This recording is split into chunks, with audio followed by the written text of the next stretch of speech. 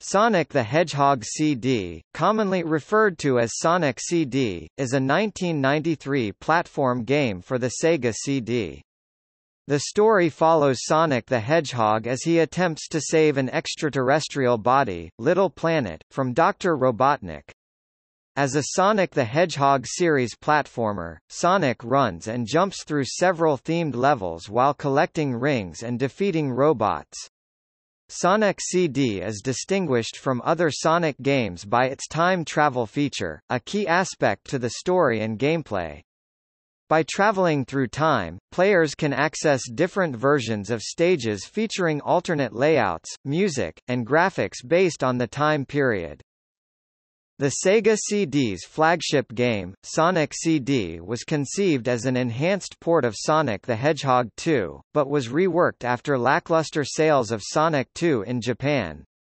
Sonic co-creator Naoto Oshima directed and Sega developers designed the game to show off the technical capabilities of the Sega CD. The game features the debuts of Amy Rose and Metal Sonic, and includes animated cutscenes produced by Toei Animation. Two soundtracks were composed for the game, the original score was composed by Naofumi Hataya and Masafumi Ogata, while the North American score was composed by members of Sega Technical Institute. Sonic CD is often called one of the best games in the Sonic series and the platform game genre. Reviewers praised its exceptional size and the time travel feature, which they felt added depth. The music was also praised, though some believed the game did not use the Sega CD's capabilities to its fullest. It sold over 1.5 million copies, making it the Sega CD's bestseller. The game was ported to Windows as part of the Sega PC brand in 1996, and to PlayStation 2 and GameCube as part of Sonic Gems Collection in 2005. A remastered version, developed by Christian Whitehead using the Retro engine, was released for various platforms and mobile devices in 2011.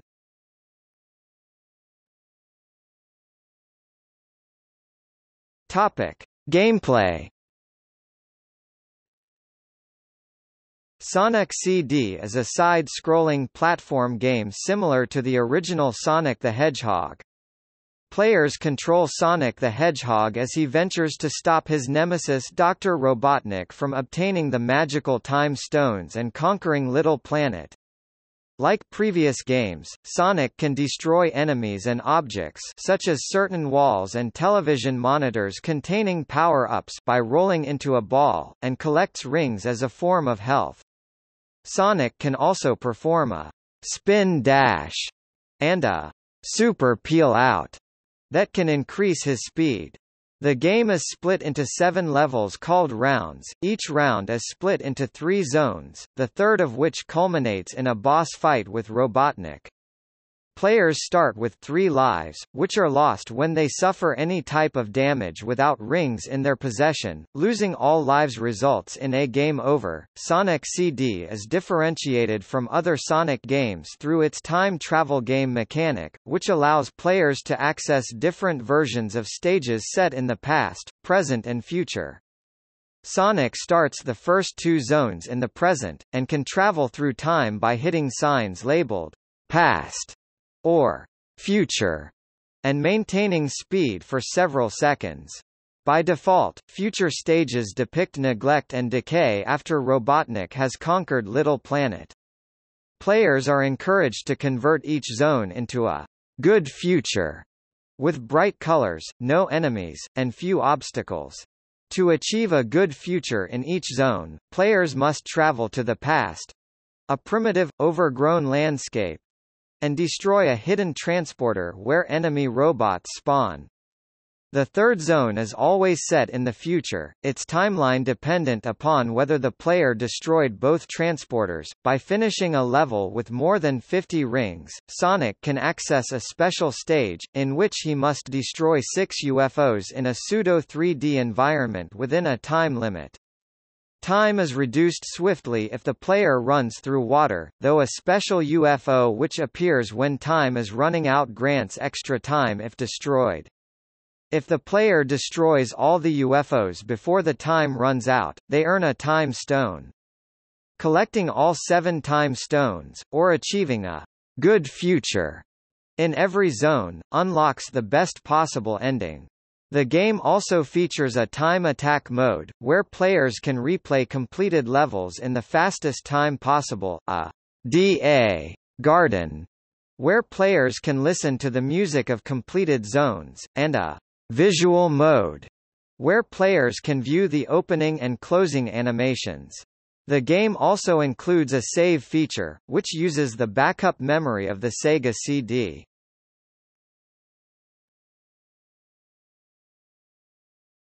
Topic. Plot Sonic journeys to Never Lake, where an extraterrestrial body, Little Planet, appears on the last month of every year.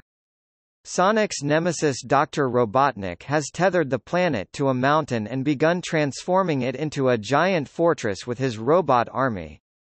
Robotnik seeks the Time Stones, seven jewels capable of altering the passage of time. Sonic ventures into the planet, followed by the besotted Amy Rose, his self-proclaimed girlfriend. Robotnik dispatches his top robotic enforcer, Metal Sonic, who kidnaps Amy to lure Sonic into danger. Sonic clashes with Robotnik and Metal Sonic and uses time travel to stop Robotnik and save Amy. After racing and defeating Metal Sonic in Stardust Speedway and saving Amy, Sonic fights and defeats Robotnik in his base. Two endings exist, depending on whether or not the player collected the time stones or achieved a good future in each level. In one ending, Little Planet is returned to its rightful state and leaves Never Lake, in the other, Little Planet leaves Never Lake, but Robotnik uses the time stones to retake it. When the planet reappears at the lake, Sonic returns, determined to save it.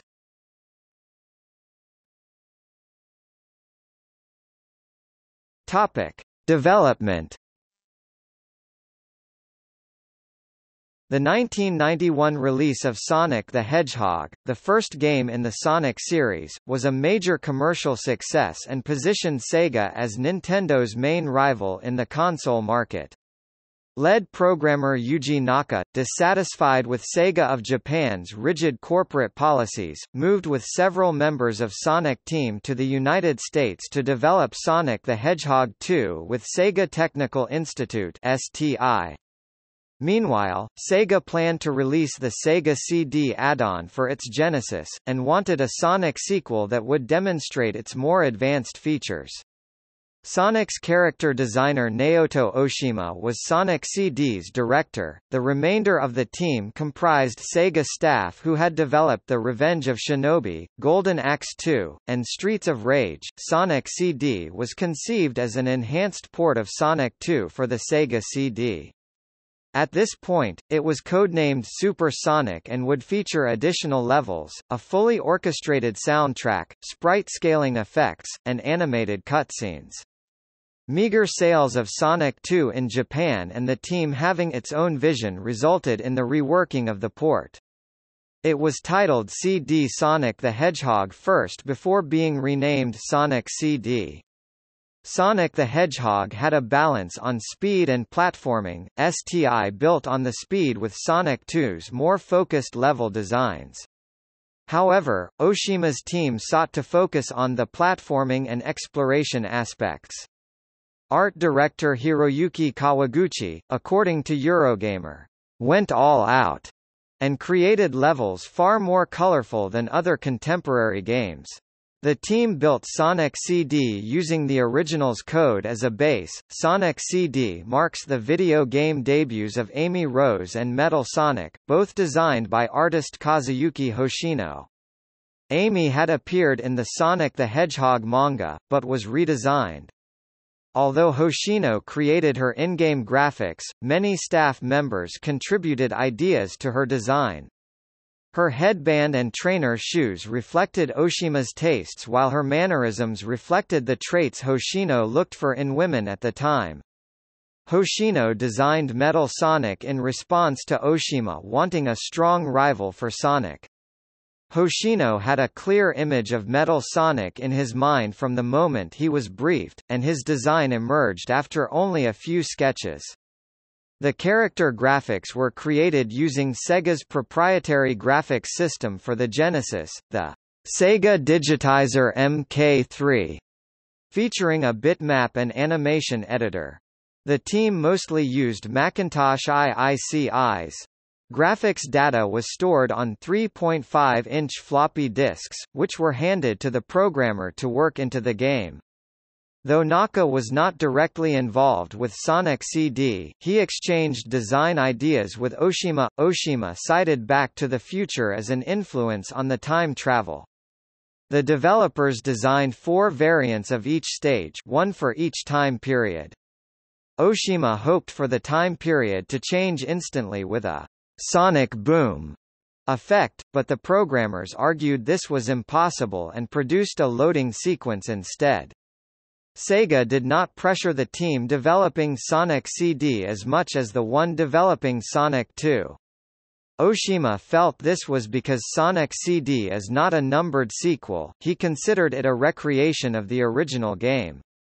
The total game data of Sonic CD is 21 megabytes MB, compared to Sonic 2's 1 megabyte.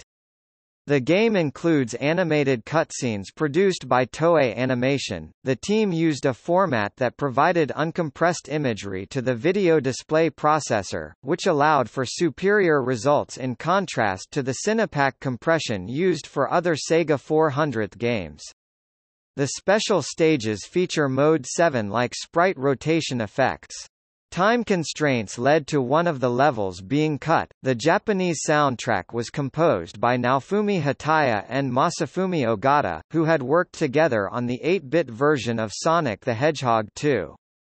The game features two songs, Sonic, You Can Do Anything, often referred to as Toot Toot Sonic Warrior, composed by Ogata and originally written for Sonic the Hedgehog 2, and Cosmic Eternity, Believe in Yourself, composed by Hataya. Both are sung by Keiko Utoku, who also provided Sonic's voice samples in-game.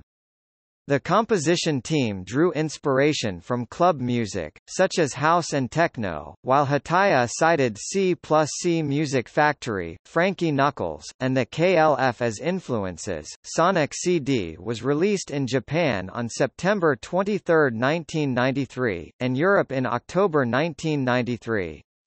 Sega of America delayed the game for two months to have a new soundtrack written and produced by Spencer Nilsen and David Young of STI, and Mark Crew. According to Nilsen, Sega believed it needed a more rich and complex soundtrack.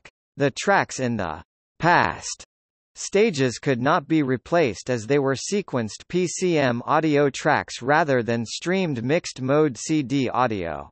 You Can Do Anything was replaced with Sonic Boom, composed by Nilsen and performed by the female vocal group Pastiche. The game was released in North America in November 1993. Sonic CD was the flagship Sega CD game and the system's only Sonic game. An enhanced version of the original Sonic the Hedgehog and a Sonic-themed localization of Popful Mail were cancelled.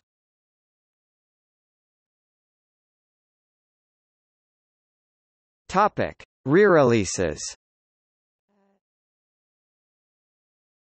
Two versions of Sonic CD were released for Windows, one in 1995 for Pentium processors, and another in 1996 for DirectX.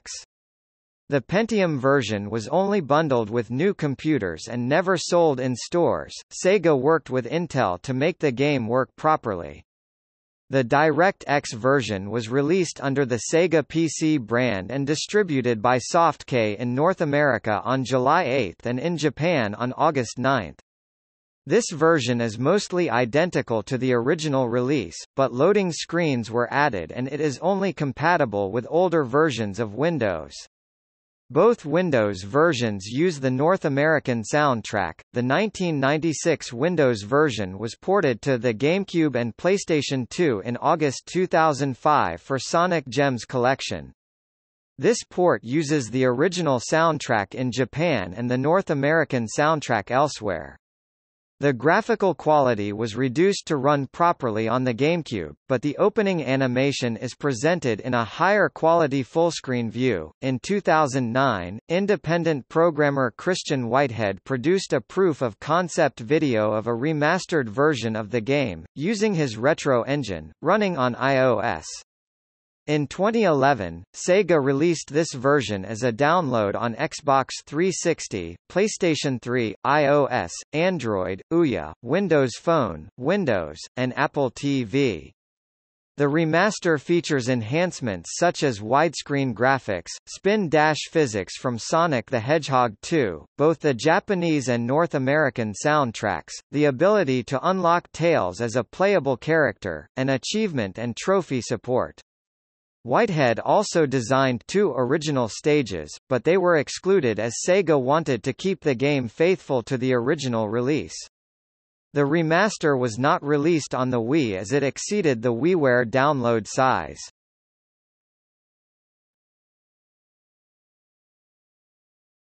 Topic: Reception.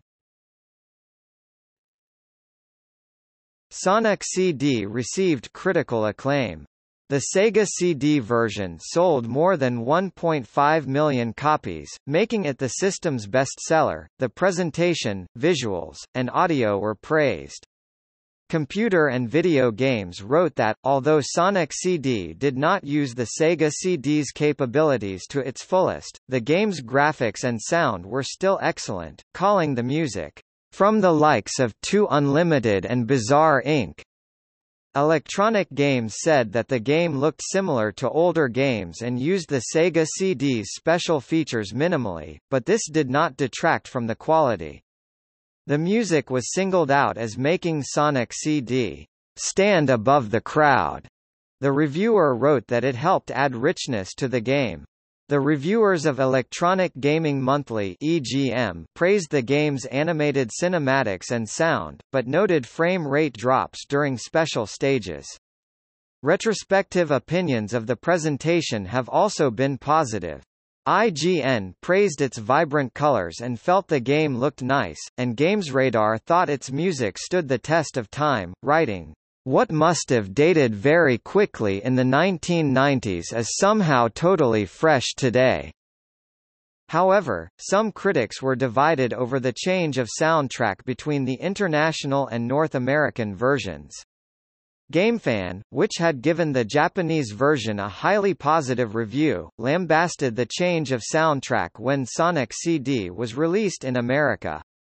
GameFan editor Dave Halverson called the change an atrocity that remains the biggest injustice in localization history. The reviewer for GamesRadar claimed to have shut his GameCube off in disgust when he realized Sonic Gems Collection used the American soundtrack. In a 2008 interview, Nilsen said, I think critics were looking for a way to bash the game, it was like we replaced the music for Star Wars after the movie had been out for a while. The gameplay was also widely praised.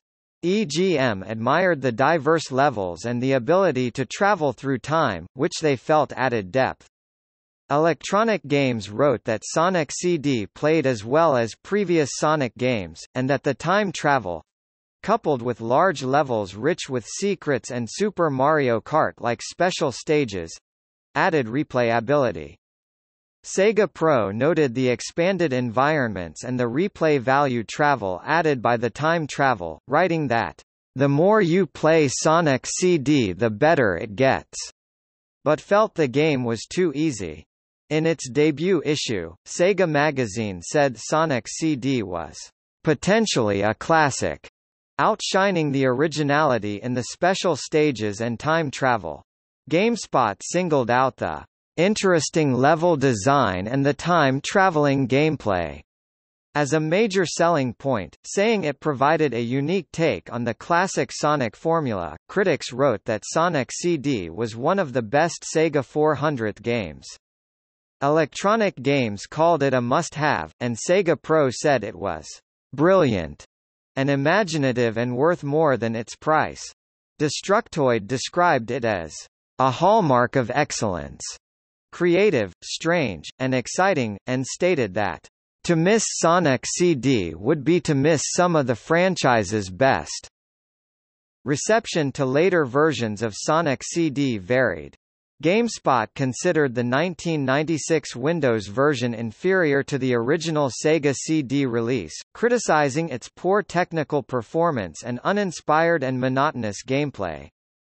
The reviewer wrote, Those who have played Sonic on a Sega game system will find nothing new here and that it was not worth its $50 price tag.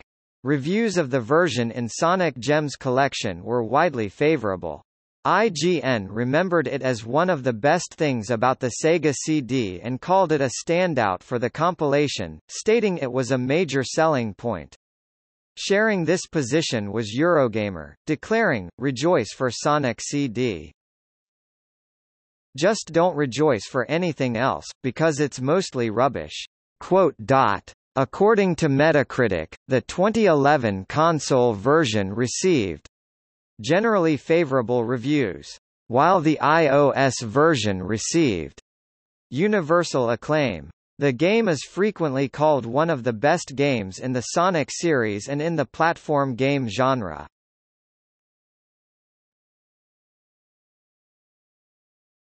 Topic: Legacy The story of Sonic CD was adapted in the 25th issue of Archie Comics Sonic the Hedgehog comic book series. The adaptation featured some changes to the story, such as Tails being an important character and Metal Sonic having the ability to talk. British publisher Fleetway Publications published their own adaptation in Sonic the Comic. The final issue of Archie's comic, number 290, December 2016, also featured a retelling of the game's story. Two characters introduced in the game, Amy Rose and Metal Sonic, became recurring characters in the Sonic series. Metal Sonic later appeared as a major antagonist in Knuckles Chaotix 1995, Sonic Heroes 2003, and Sonic the Hedgehog 4, Episode 2 2012, whose story heavily connects to that of Sonic CDs. Amy Rose has also gone on to become a character in many subsequent games as well, most notably in Sonic Adventure. The game's animated sequences were included as bonuses in the compilation Sonic Jam 1997, and Sonic Boom was reused as one of Sonic's themes in Super Smash Bros. Brawl 2008. To celebrate the Sonic franchise's 20th anniversary in 2011, Sega released Sonic Generations, a game that remade aspects of various past games from the franchise. Both versions feature a reimagined version of the boss battle against Metal Sonic. The 2017 game Sonic Mania, produced for the series' 25th anniversary, features updated versions of Sonic CD's Metallic Madness and Stardust Speedway levels, including a boss battle against Metal Sonic. Notes